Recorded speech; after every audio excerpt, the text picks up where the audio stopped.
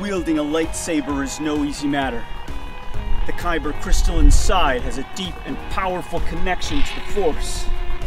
While it is possible to use a lightsaber without the Force, the lightsaber blade's properties make it require a great deal of physical strength to control it.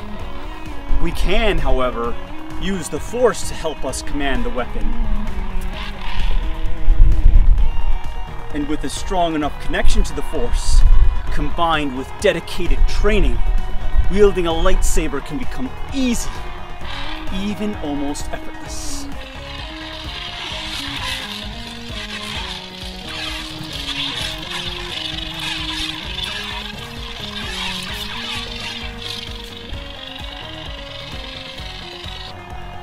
Force lightning is from the dark side.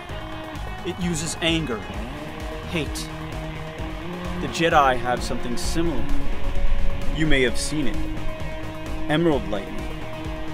But there is a third, known only to the Jedi Knights of the Hidden Order. It is called Lightning of Justice.